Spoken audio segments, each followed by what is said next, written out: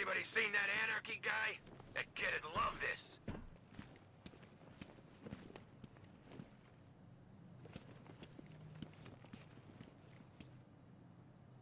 A fluke, detective. Detective? A very palpable fluke.